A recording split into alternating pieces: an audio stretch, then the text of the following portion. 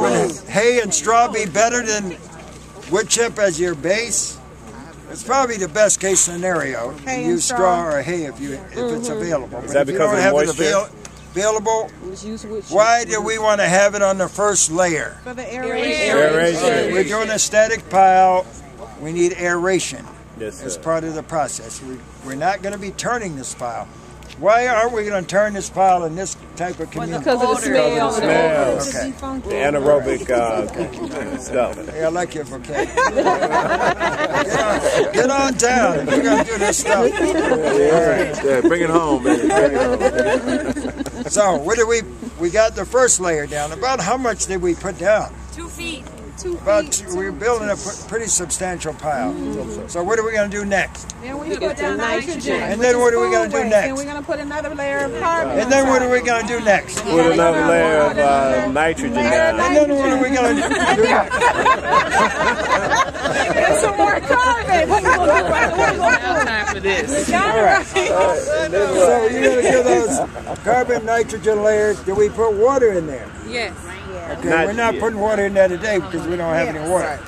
What else gives moisture to that pile? It's happening right now. Water. Okay, what, what else uh, gives nit- uh, water to that pile? The, the nitrogen, the food product. The food waste has what? Moisture. Moisture. Water. So that's going to bring moisture into the into the pile. Okay, we're going to get back to that when we get more food waste and finish up. How big of a pile do you think it would take to get our temperatures up to 150, 160 degrees? Four foot five. five feet. About five, about five feet. About About five ten. So six feet, more or less. Five, six. so we want that pile to be uh, uh, about twice that size. Okay. Uh, because the temperature, uh, we really need the temperatures in there to break down the pathogens and that sort of thing, and to heat it up so it'll break down. So when we gonna cover it? We're not going to cover that. Not this one, No, we don't cover that.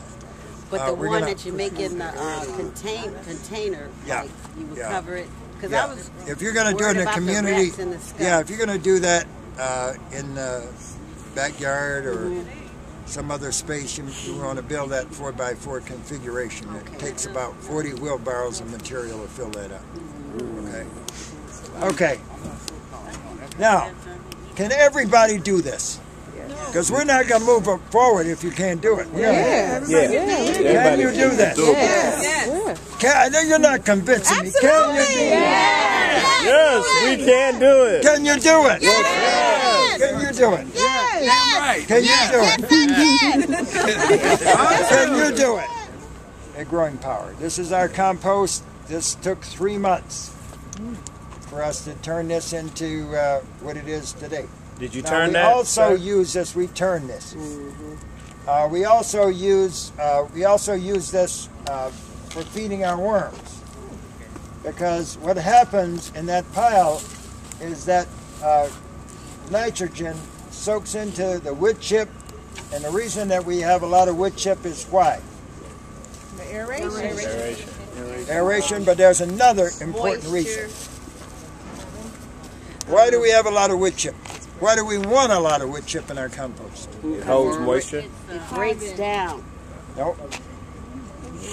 Any soil scientists here? Why do we want wood chip? What grows on wood chip?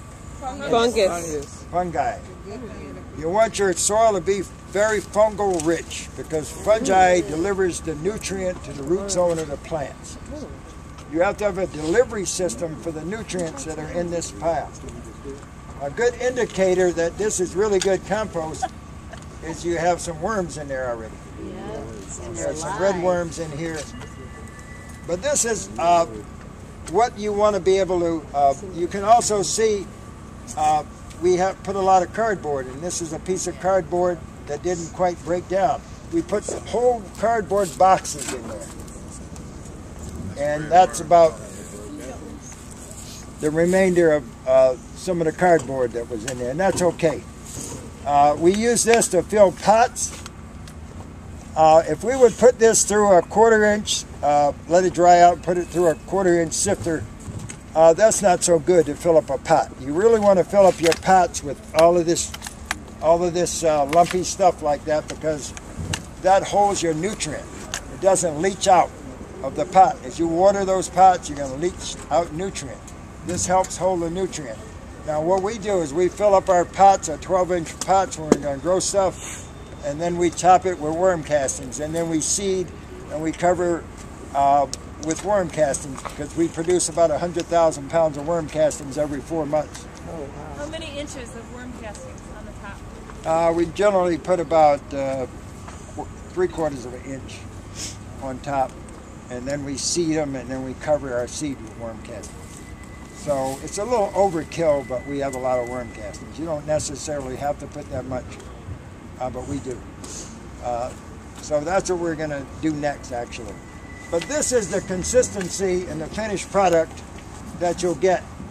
Uh, you'll get this in a static state, or you'll get it if you turn it. You can speed up the process in about three months. We're, we're turning this stuff uh, in three months. With a front end loader, with Yeah. a bucket. Yeah. We do 50 yard piles and then we turn them. We turn them approximately uh, five, five, about five times in that 50 yards long, move them no, over. 50 yards pile. Like that Oh, pile right yards- there will be a 50, cubic yard, yards. 50 cubic yard pile. Just take the pile and move it over. Well, That's you, how you turn you know, it. it takes some time to Yeah. take the top from the bottom and you know. And then we just move it back and forth, and then we put it in windrows to, to store it and finish it off Where? In Windrow. in a long windrow. Yeah. Okay. Mr. Allen, if I'm doing my own pile and turning it, it would be the same process. So, so that's something you can do too. So now you have worms in your compost. And the worms will uh, provide even more fertility because they'll break this stuff down. No, this is fine. I just wanted to show them. At what point do you introduce the worms, Mr. Allen? You can introduce them uh, before you build the beds or after you build the beds. In our compost, uh, most of the time in our site, we'll have worms because once the piles cool down, the worms come in. Once you inoculate the site with enough worms, you never have to worry about worms coming into your compost as it cools down. They're not going to come in when it's 150 degrees. So y'all want some more worms. That's what they say. Tell me all the different things I can use that product. Everything to grow. Well, what is everything? I want to know. You what- wanna use it to grow. I'm a Trees, beginning farmer. I don't know anything. Flowers, food, house plants. Can we build beds with that? Absolutely. Can we put that inside pots? pots. Absolutely. Can we feed that to the worms? Absolutely. Okay. What are the worms going to do to that? They're going to break They're break it down further. They're going And to add add their that cats stuff. and eat through it. Okay. So that's what we're going to do next. What we're going to do next is uh, uh, go into that uh, uh, first greenhouse, the hoop greenhouse, and we're going to bring in enough material to fill up six uh, or five or whatever they bought worm bins. Okay. So we need. Uh,